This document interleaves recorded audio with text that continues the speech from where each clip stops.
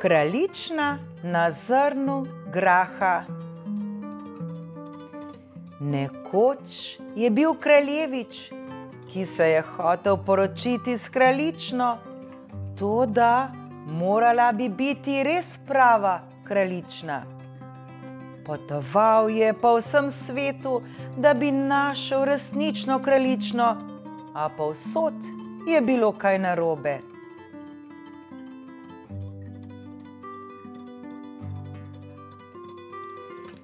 Kraljičen je bilo dovolj, to da če so bile prave kraljične, ni mogel dognati. Zmeraj je bilo kaj, kar ni bilo povsem v redu.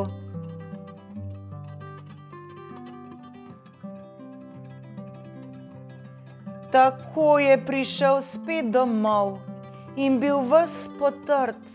Zakaj tako rad bi imel pravo, pravcato, kraljično?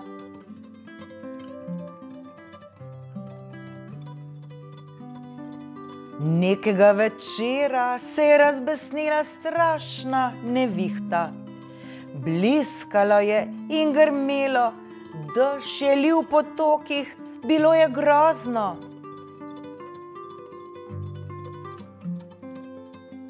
Zdajci je potrkalo na grajska vrata. Tak, tak, tak, tak, tak, tak. In stari kralj je vstal in šel odpret.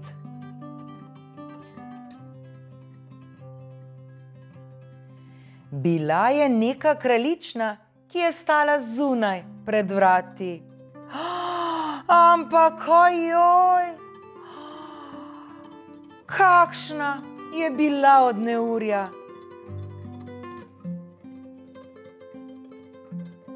Voda je tekla od las in obleke, tekla je v čevlje k prstom in pri petah spet ven in vendar je trdila, da je prava kraljična.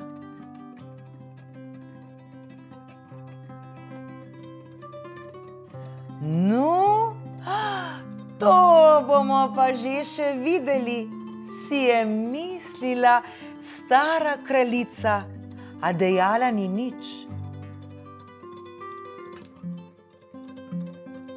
Šla je v spalnico, zložila vse žimnice z postelje na tla in na dnu posteljaka položila zrno graha.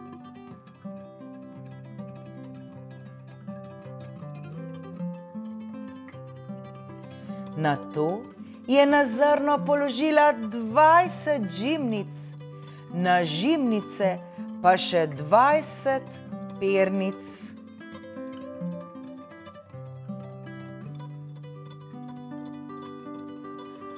Tu je morala kraljična ležati vso noč.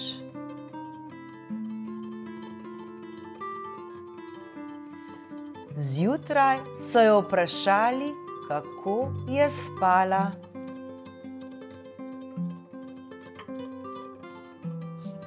Oh, Oh, strašno slabo, je odgovorila kraljična. Skoraj vso noč nisem zatisnila oči. Bog vedi, kaj je bilo v posteli. Ležala sem na nečem trdem, da sem mu samo drikasta po telesu. O, grozno, grozno, grozno.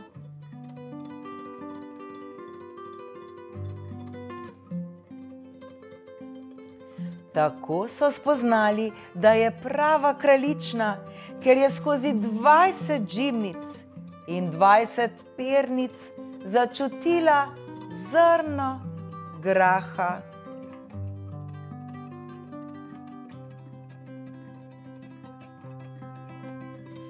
Tako občutljiv ni mogel biti nihče drug, kakor samo prava kraljična.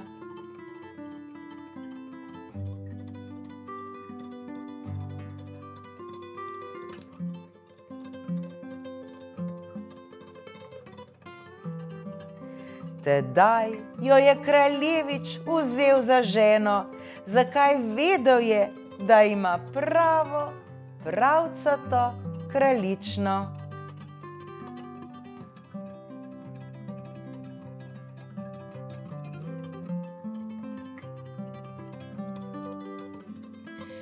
Tisto zrno graha pa so dali v muzej, kjer ga še danes lahko vidiš, če ga že nikdo odnesel.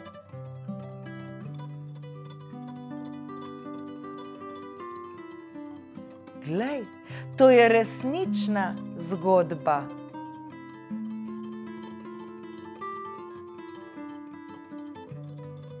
Sporočilo te pravljice je, da je prava princesa tista, ki ima ne samo lepoto in bogatstvo, ampak tudi občutljivost in nežnost.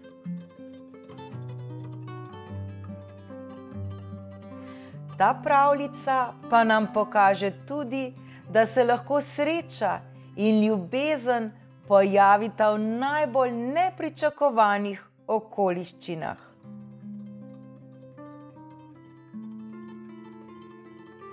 Dragi moji otroci, ta pravljica nas spodbuja, da verjamemo v svoje sanje in ne obupamo, ko iščemo svojo sorodno dušo.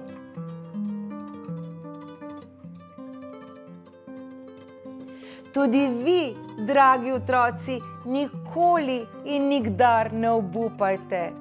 Vedno verjemite v svoje sanje. Vedite, da vam je mogoče prav vse.